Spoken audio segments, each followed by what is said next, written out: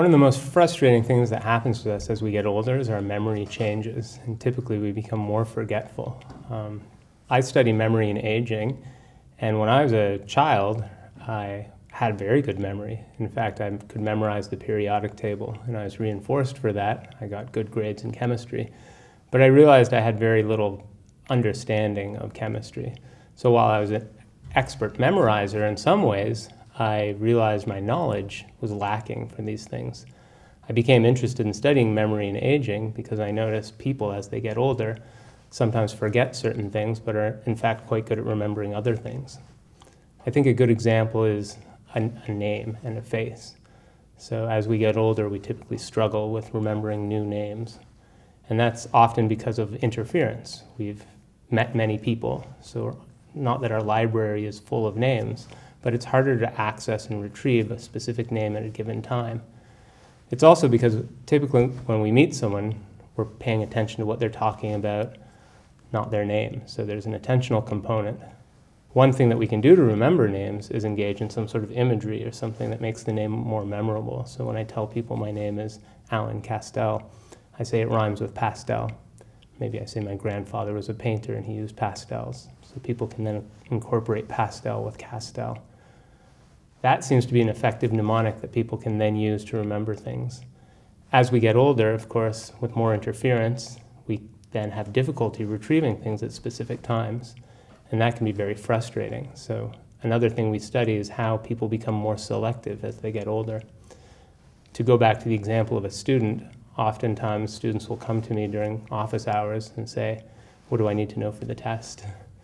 And I look at their textbook and they've highlighted probably 80% of the material. They're clearly reading the textbook and they want to do well, but they have trouble determining what's important.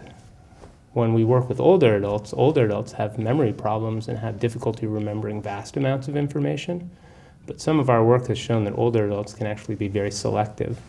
They know they can't remember as much, so they'll focus on, on more the general theme, sometimes forgetting some of the details, proper names, but remembering more specifically what was important to them. So this concept of selectivity, I think, is very important as we get older. The student who highlights everything in the textbook then becomes older and realizes they can't remember everything or not everything is important. So a lot of the older adults we work with will say, I know I can't remember everything, but I, I can remember what's important to me. And this can be something that you're curious about, maybe something you have some background in, something about grand children, perhaps, something about golf, depending on what your interests are. So we've been studying older adults and how people get selective as they get older. One example of being selective is being able to summarize things in a clear and concise way. My daughter was watching a movie the other day and I'd missed the first 10 minutes, so I asked her, Oh, what, what did I miss? And she begins to provide a very detailed response of almost 10 minutes in length of what I'd missed including pretty much every detail and some of her own commentary.